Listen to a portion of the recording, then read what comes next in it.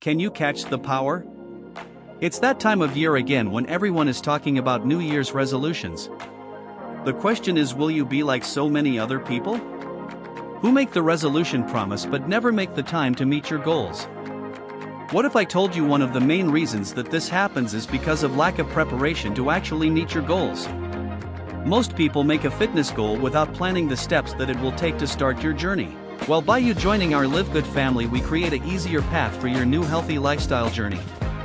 Live Good produces the highest quality organic health supplements on the planet. Not only are our organic supplements made with the highest quality ingredients, Live Good products are the most affordable on the market.